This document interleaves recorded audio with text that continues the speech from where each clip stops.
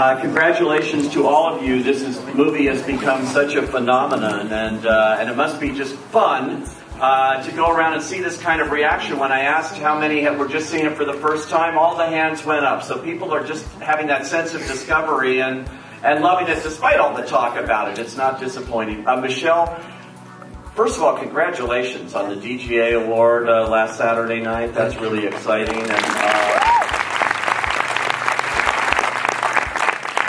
you know, and so many other, all the Oscar nominations and the British Academy Award nominations, 10 Academy Award nominations. Best screenplay. Um, did you have any idea when you came up with this idea, you know, of doing a little, little black and white silent movie that you'd be here at this moment, you know? What do you think? of course. no, no, no. I, it was really an unexpected. Yeah, we were looking away. I remember when we, we were going back to Paris with Berenice, we were looking uh, away to screen the movie. I mean, for the crew and for the cast to see the movie. So we wanted to print a DVD, to send it here to the producer, and um, so when you're at this level, you don't think about Oscar nomination. Well, let me ask you how you did come up with this idea, because you've done this uh, wonderful movies before, including those terrific OSS uh, films uh, with Jean Dujardin and Berenice Bejo. But um, how did you come up with this idea? Because nobody's really had this idea in 80 years. So this is this is kind of a new idea. Actually, Mel Brooks made a silent movie, and there's some guys who there was a, an American director who did uh, Sidewalk Stories in the 80s. Oh yeah. Yeah. And uh, so they, from time to time someone does a silent movie. And uh, I think there's a lot of directors actually who had that desire, but they didn't do it. And this is good for me because I did it. but yeah, it was a desire for a long time. I think for a lot of directors it's a fantasy. It's, it's like the, the, the purest way to tell a story, and it's very challenging. And um, and also, I mean, I mean, as an audience, I really love the way it works, the way the story is told, and uh, how you're involved in the storytelling process and how you participate. And uh, I mean, really, the device of the silent movies is great. So.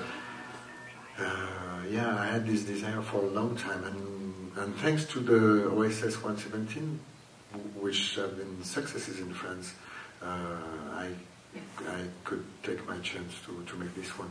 Yeah. And James, let me- Father lost his position and was fired and lost his friends and was depressed and then he found a way out, which was the theater. And now we're in the same boat again. So I, I think people recognize, Michel has said that the story is a contemporary story. It's, it happens to be set in the 20s, but all of us can relate to what the arc of George's character, what he goes through, and Berenice's uh, characters, the support that she has for Georges Valentine. Um, it's important for another reason because I think it shows to audiences and most especially to filmmakers the idea that you don't have to make films in the uh, conventional wisdom and conventions of Hollywood, which seems to get more and more complicated and more and more distant from recognizable human experience, you know, immediate felt experience, into car chases and explosions. And it's very, very inspiring that somebody can make that he, Michel calls them devices, but the simplicity of this form and its form of storytelling, that the effect that it has on audiences, I, I think Hollywood will notice, I think everybody else will notice, oh, it's really the artist in us that creates the event, not the technology that's thrown at a poor or uh, and, and Michel, I want to throw some props. You you see why you wanted to make it, so you see the good part of the of the thing. But but the script was really um, for me the most uh, challenging part. After on set, I mean, for me it was like another movie. I I, I shot the, the actors, the, the location, camera, the crew. Technically, it was the same. Now, Penelope, you're the only one up here who's actually made silent movies before.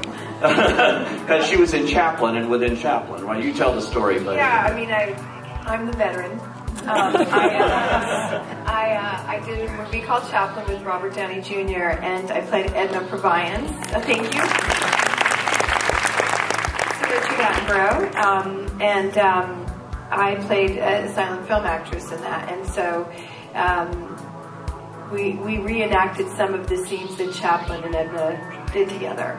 So I had the whole movie wasn't silent. It was about a silent film star, Charlie Chaplin. But, um, yes, I did have experience, which could have helped in, in the casting, perhaps, when they came to me, because I'm you're making a silent film. I'm, I'm the go-to girl.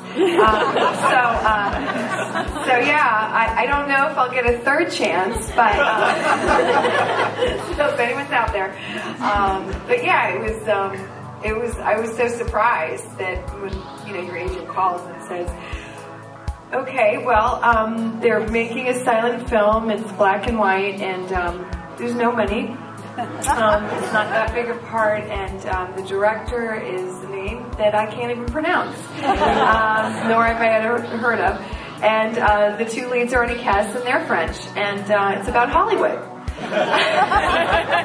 Sounds like my kind of film. Um, and uh, I was definitely surprised, and I was kind of, in, well, very intrigued and um, very excited actually because I love, I'm very nostalgic about old Hollywood and the 20s, and I live in a home that was built in the 20s. Dolores Del Rio lived in my home, who's a silent film star, and um, so I, any opportunity I have to pretend I live in the golden age of Hollywood, I, I take. Um, I had no idea anyone would see the movie. I felt like I would come out unscathed if the movie bombed and we all made fools of ourselves.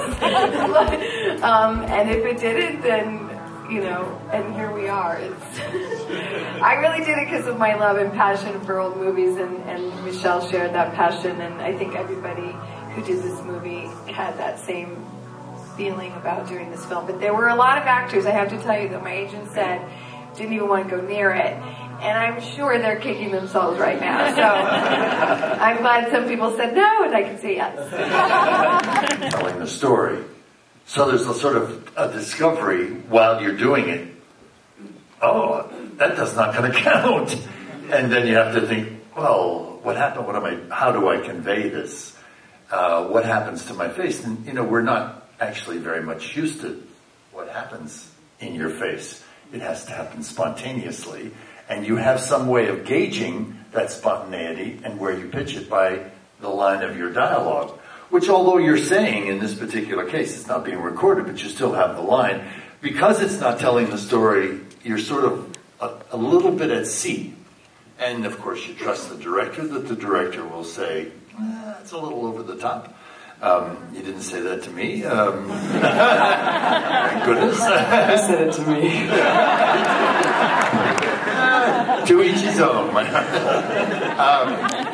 and uh, you know, you have the added advantage, of course, that the music creates the context. Uh, and as Michel says, it's the antagonist, so it's something to play off of and sometimes against. Um, the music is a big support uh, to have, and uh, is the music going on on the set? The music is going on behind the scenes. Yeah. Uh, you know, some of it the same music, some different, all of it evocative, uh, chosen for a reason. Um, and it, you know, it, it's uh, a little disconcerting at the first, but then you get used to it, and then you realize you're, you know, responding to it the way we do to music, uh, that it affects our behavior and how we feel about what's happening between two people. Sort of, it's the ground. And so, uh, for me personally, I don't think it uh, changed anything. I'm, I'm, uh, I'm, I'm big, and I'm used to. I'm a, I'm big chauffeur, and I, thanks, thanks. And I'm, I, and I'm, I'm used to. Um, I don't have to do much, um, and have never really been asked to do too much, but it is to just convey it, you know, with uh, my presence and my thought, and it seemed to work perfectly in, in this film.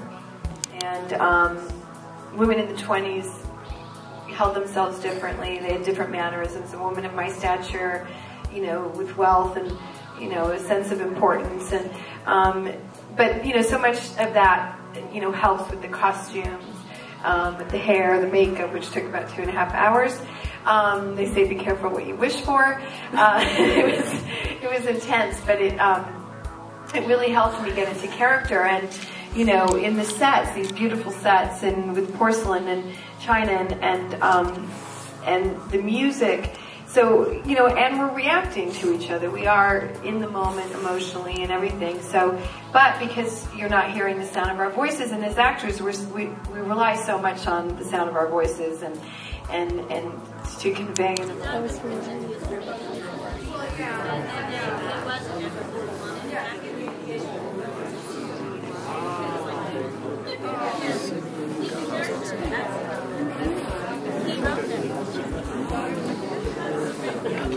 so funny.